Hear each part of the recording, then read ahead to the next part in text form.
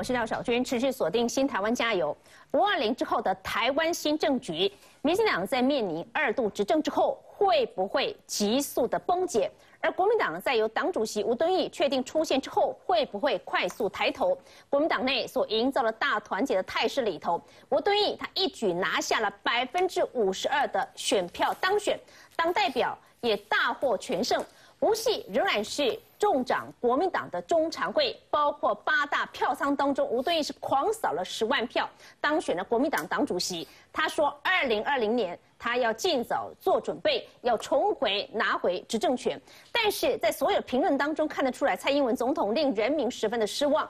执政一周年，所有的评论都在批评他，甚至质疑他的领导统御。问题真的出在蔡英文总统吗？所有的改革不满意度都高于满意度，人民惊觉最悲该需要改革的真的是蔡英文总统吗？而蔡英文总统到底是什么？不会、不能，还是不知道如何进行改革？好，执政一年面临的是，有人说现在是活档，活档还有补考的机会，另外包括了处理扁案的情形。现在这样的发展真的有道理吗？也要告诉观众朋友，如果扁案的处理。我们稍后为您解释这两天我们急速联络法务部长邱泰三所获得的回应。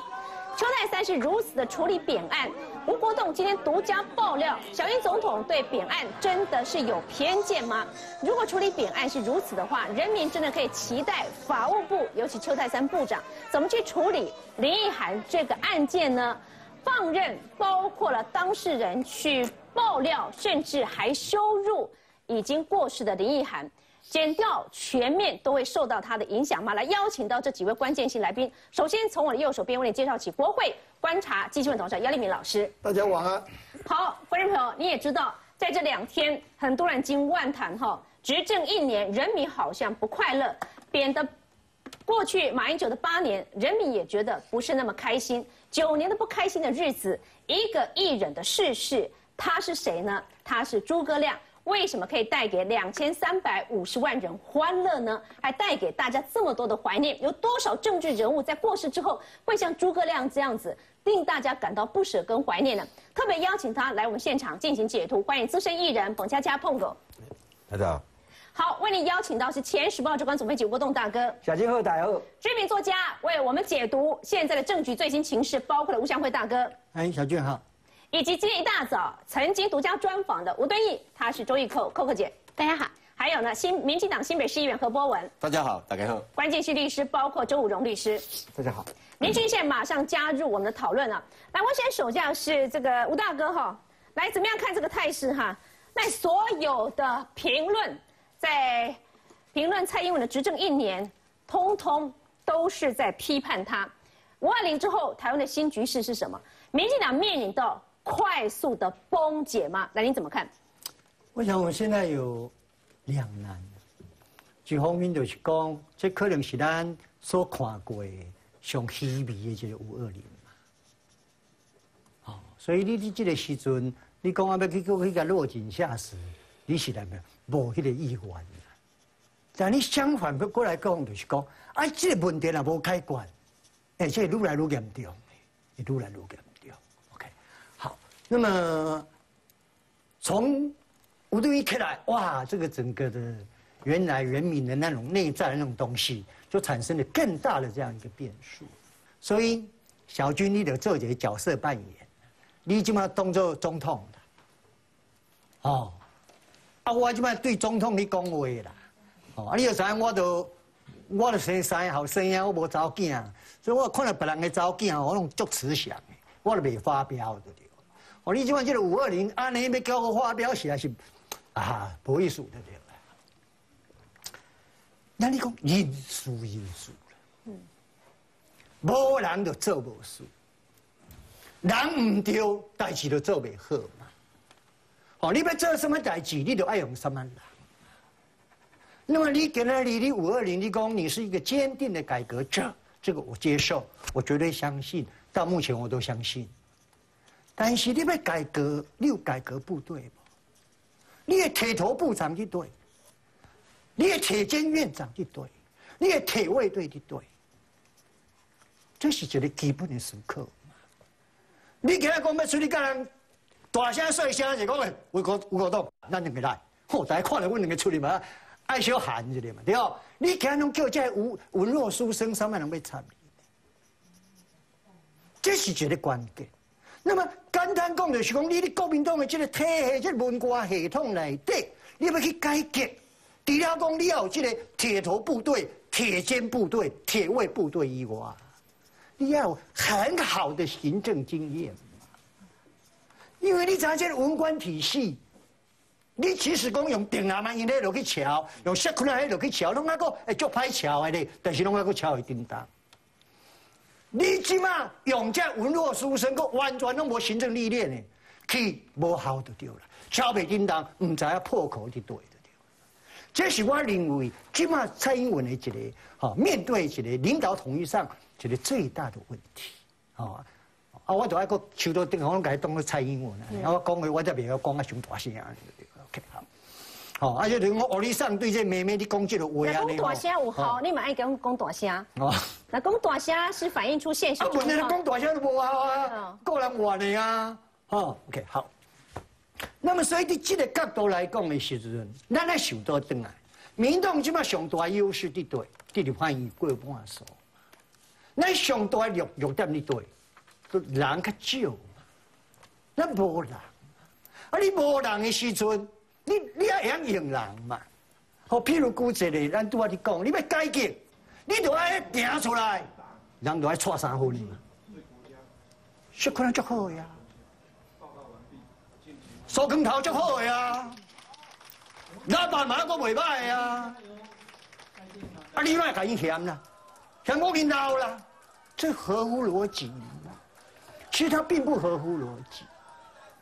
我都要讲，你要行政经验嘛，还要改革的行政经验嘛，还要改革成功的行政经验嘛。哦，人伊上无这人，人伊做做台北关的一件事情，人伊做宜兰关的事情。人弄一定的时间，啊不一定的分量嘛，人出来了大概没幺八叉，OK 好，啊这样你用黑名刀啊，啊为什么黑名刀？第一个逻辑不清楚，苏金枪给你交回，你黑名刀，哎啊你敢是想要连任？你你等你连任第二任没当初你买个收银通变这个。谁可能给你背回啊？你还未到？赶快啦！你连任吗？你咪想要连任吗？你连任的时阵改变这回啊！你以前那个头家阿辉伯啊，好，迄骗你个，好，佫加较侪回。好，那么给你六回。嗯，嘿，你个连任以后佫拄拄好好，还佫骗你个少年。就让他好。所以，就用第一个，这个没有逻辑，他用年龄去划一道界限，改下老龙抬雕。你已经无人通修台啊！你，你无人，你要改革呢？结果你把这好卡弄抬来掉，这是不对的，这不对的。所以大家有结论说，这样的继续下去的话，国家走向会拖垮整个民进党政权。都是简单讲，伊的人事布局的这个概念，伊若无改变，你温死的，温死袂活。嗯，起码我讲的上歹听的啦。起码民进党政府是什么政府？你敢不知？太监治国的。这小好人真感慨，他迷到了太监治国。那卖公家的人不是铁肩部队、铁头部队。我讲两三句啊，很小的例子，你就知影。我你讲啥叫做太监治国？嗯。哦，啊，你也免讲去查讲啊，我消息来源是安怎？歹势，我你要从你总统府、从行政院、从立法院、从你边啊，我都有消息来源。我们就讲一些小例子。伊即摆做个什么停头？你敢知？伊即摆做个哦。好，现在这场，我们专业是他有没有不时找党政大佬进入总统府来会商国事？这是大家所关心的。好，国家现在面临这种走向，嗯。啊，咱估计咧啊，伊即摆看，哦，本来伊伊迄个伊的位拢甲摆好啊，所有物件拢摆好啊。啊，即摆看，啊，这内底有吴祥辉，我是举例的，哦。吴祥辉给他买的，干一点敢帮跑的都丢，一种买起啊！所以他出来的时候，不是那种大理官家带着他出来哦，是也走力，将来敢也先来把他的嗯茶具全部收走，啊，歹势，总统基本都无言无法度来。嗯嗯，哎对对，已经行到这种程度了。行到这种程度啊！啊，其实其实这个样子，我们是今日才开始。伊咧做民进党的时阵，做民进党党主席的时阵，伊就是安尼啊。伊就话感觉讲哇，这这这歹流浪，唔知要他处理，他就记者会他就取消啊。哦呵。啊，不开记者会，一路一一路一摆，一年两底下。对，五二零记者的参叙的确取消。这是破天荒的第一次发生。现在只是说，因为变成了总统，那个高度，那种新闻的可见度太强了。你一整到民众都主席就是安尼啊。我们相对。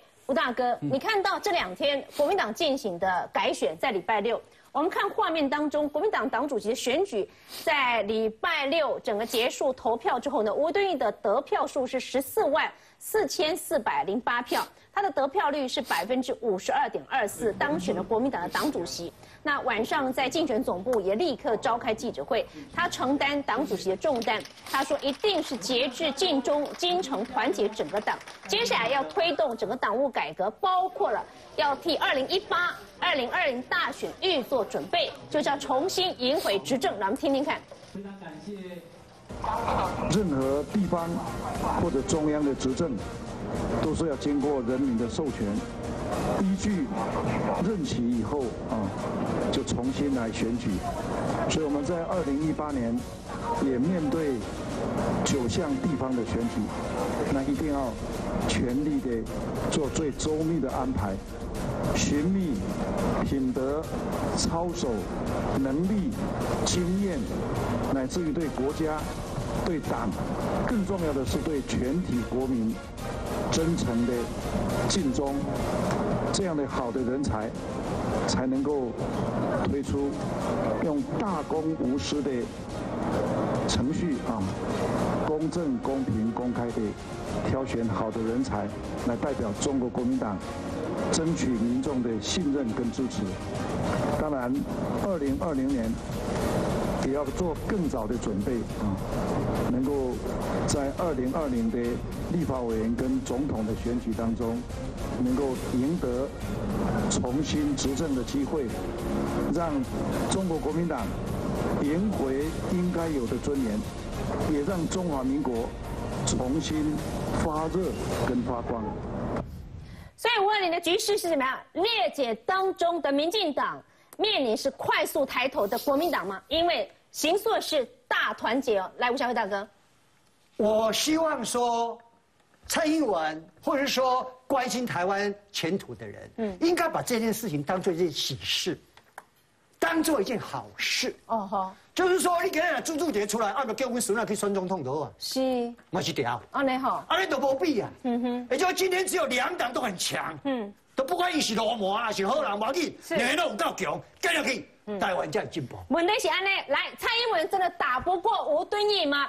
还是蔡英文总统自己的问题就是他自己，自己绑住了自己？甚至很多人说，蔡英文的执政会不会拖垮了民进党？来，叶老师，我先不去，我先不去讲，我接着祥辉刚才所说的哈，我觉得讲的很有道理哈，这不是两党的事情。这个，现在我先拿这个板子来跟大家说一下，这已经早就不是两党的问题了。现在的满意度，现在的整个施政的满意度已经趋势已经这固定成这个样，已经三个月了。满意的七总共在总 total 里面，虽然是现在只有四成不到，可是 DPP 民进党满意的还有七成三呢。跟他拿到当时八九成的选没差多远呢。民进党的绿营的人不满意的只有二十一，不多。KMT 国民党不满意的八成多，当然本来就没有投他票嘛。百分之十三点九的人，十三点九的人满意，这个蓝军里面掺杂了很多因素，我就不讲。这两块，这两个党根本没差嘛。嗯。中间选民，你看看满意的人只有多少？二十五趴，六十趴不满意。我得我告诉你这个数字有多严重，因为他的选票，二零一零一年前，百分之六十多，将近七成，百分之六十五多啊，投给他呀。嗯。我等下告诉你这个数字如果倒过来变成什么样。现在六十趴的人不满意他哦，嗯嗯嗯，只剩二十五趴的人，这个才是现在总头头。现在剩下满意度只有四成的人，如果是按绿营来讲的话，根本没差嘛。那完全翻转了，好，一年之间完全翻转，一年完全翻转，中间完全翻转了啊。嗯政党的支持度的比例，我请这个镜头打大一点，请大家看清楚啊。我拿来跟这个对照，我跟你讲，这个对照你有没有注意到两个交叉？你看啊，右边这个对照哈，他刚开始就任的时候，你帮我拿着啊。好，如果你可以帮我拿着。好，来帮你拿。你看到啊？你看这个满，你看这个满意度啊，你看他从就任去年就任这么高啊，六成多，像滑楼梯一样往下滑，滑了一半，然后不满意度像上升一样的很快的六个月上升到交叉。可是我先看这一段啊，就前面这七个月，各位看一下前面这一段的政党的支持度。各位再打大一点，这要打非常，请问有差别吗？正常支持度波动不大，蓝的，二十五趴，绿的三十四趴，中间的四十趴，嗯，完全没动啊。嗯哼，在最厉害的前面七个月，满意度降下来，不满意度降上去，政党认同度的调查一模一样。嗯。而且民进，而且国民党下面是国民党啊，国民党还略略往下，你有没有注意到？是，还略略往变一个肚子，刚才是一个箭头，现在变一个肚子。国民党啊，在民进党满意度这么差、低低落的时候啊，是，居然他国民党的认同度略微降降两 percent，嗯嗯，慢慢慢平衡，现在略微回升一 percent，没变。我现在跟大家讲这两个数字呢，重点在哪里？因为刚刚吴敦义的问题。是是。你看啊，蔡英文的满意度也很低，国民党也很低，对不对？可是你看哈，上次的选举，现在我上面三个数字，蓝是二十五趴，绿是三四趴，还全国整整赢十八了，中间有四十趴。我跟大家报告啊，从上次选举我一再强调，台北市是中间选民在做决定，全国是中间选民在做决定，他们是看人不看党。所以郭台铭为什么民调会高？各位就知道他根本什么党都不是。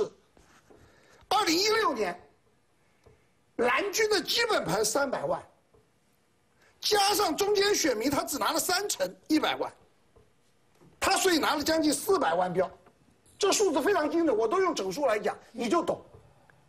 民进党基本盘四百万，就他的基本盘，他拿了中间选民百分之六十几。将近是三百万票，所以他最后七百万，就他们俩差多少？赢了三百万票，七百对四百，嗯，这够简单了。我再重新恢复一下大家记忆啊。中间选民他拿了一百国民进党国民党，嗯，民进党拿三百万，所以他赢了整整三百万，嗯哼。基本盘三百对四百，本来只差一百的，嗯，所以那个时候我在讲差三百会赢三百万，很多人说不可能啊，蓝蓝绿中间不可能差那么大了。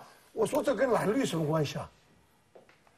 选举未来全部的关键根本跟蓝绿没关系，就是在中间选民嘛。好了，其他的人拿一百，我就不爱讲谁了，大家都知道。二零二零，我现在假设啊，我用问号。嗯。蓝军三百可以拿多少？写一个问号。民党四百可以讲多少？我只要讲一个数字，你就知道已经打平了。如果按照中间选民现在的原来六十，现在变二十五，原来二十五，现在变六十的。嗯。我这样子跟你分，绿营只拿一百五十万，蓝营拿两百五十万。如果人恰当一点，当场五百五对五百五。哇，这就是你刚刚问我的问题哦。嗯，不是吴敦义怎么样情况团，民进国民党团结不重要。嗯，国民党团结打不过民进党团结。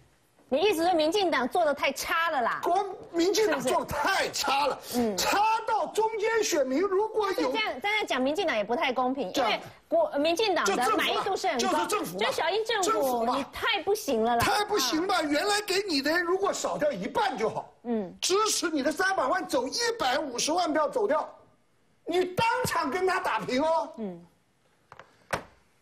我要问蔡英文了。你说你不是以民调治国，你是为台湾治国，你不为民调治国。可是我一定要提醒你，有这个民调，你才有机会为台湾治国，否则你连机会都没有啊。嗯，刚刚讲到陈水扁的案子，我非常好奇，大家调查过中间选民对陈水扁案的态度没有？是绿营也好，深绿的，请问一下，大家知不知道这？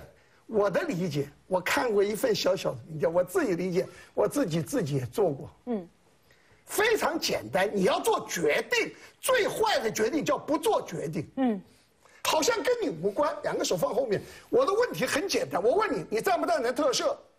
你赞不赞成？呃，现在保外就医他没有合规定，你赞不赞成要给他这个去参加演讲，那个不给他去？是我告诉你，这些选民一片骂声，骂什么？哪有人说上可以让他上二楼到一个房间，不要让他到一楼？嗯哼，哎，这个这个差别在哪里啊？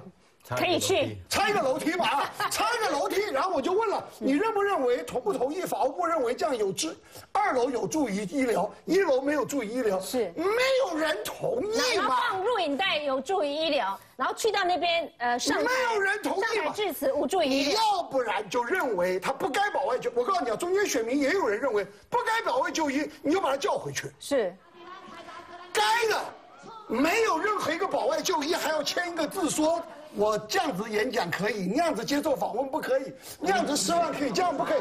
你不做任何的有价值或正派的决定，所以我用刚才他的话，嗯，你不为民调治国 OK，你为台湾治国，我用老子的话，他说什么？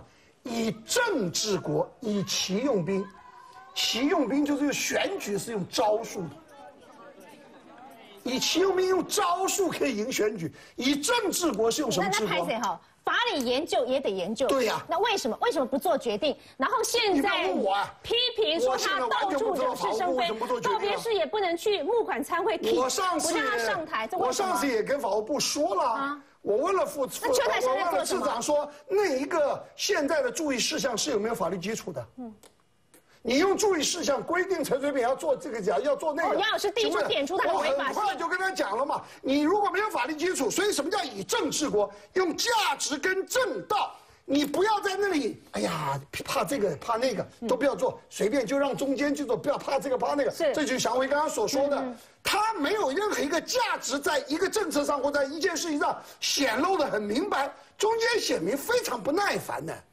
嗯，年金改革七成的人支持，满意的人知道多少？三成。哦，为什么？为什么我？对不对？小辉刚这是一个说了嘛，你知道吗？来，观众朋友，有关呃邱泰山哈，他现在网络上有一个绰号叫做邱小三，为什么呢？大家跟不讲无路插小用，就说你这个法务部长，你才被冲起来哈啊！我我们连续找了他很多天，我找他找半年了，我等一下公布。我们跟他进行整个联络，整个过程，他到底在闪躲什么？而呃，邱泰山是听中间的话吗？观众朋友，你相信吗？中间如此的羞辱，你相信吗？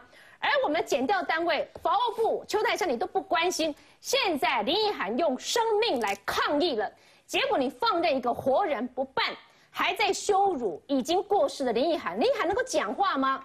这个叫做司法改革吗？后一句话这个叫司法转型正义吗可以这样子吗？司法改革，全国的人都知道是就职的时候鼓掌最多，八成的人希望做的。你知道现在司法改革的民调落到倒数第二名、第三名，是，而且我告诉各位，方案还没出来。还不知道改什么。还不晓得改什么，是大家的满意度已经只只剩下了三十四点七。所以为什么？你不要问我这群人不对我，跟你讲，就表示这群人不对，放出来讯息不对，司法改革必然，如果按照现在下来，是邱泰山必然失败。我现在就给你预言那，留他干嘛？我你不要问我这个人事？我真的不做你留。在那边不做事情，那你要干嘛？司法改革你也不做，我们能够期待你去办林奕涵这个案子吗？邱部长，可不可以说说话？要么做一点事情呢？